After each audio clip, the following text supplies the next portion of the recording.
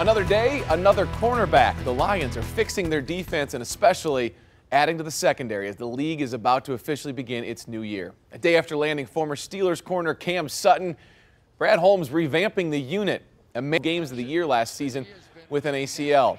The Lions were last in the NFL in total defense last season, 30th in football against the pass. Looks like Sutton and Moseley will be their two new starters, leaving Jeff Okudah needing to prove a lot. Will Harris will, re will remain a part of the secondary. Dave Birkett of the Free Press reports Harris is back on a one-year deal. Lions drafted him in the third round in 2019. They moved him from safety to corner last season.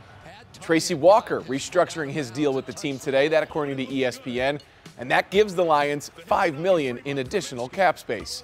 More from Allen Park, John Cominsky. He wanted to remain a Lion, and after an impressive 2022 season, Cominsky is remaining a Lion. The defensive lineman has a two-year deal with Detroit worth 8.5 million per NFL Network. Cominsky was an important part of the D-line and set career highs with 30 tackles and four sacks after signing with the Lions last offseason. Detroit also keeping offensive tackle Matt Nelson as a backup.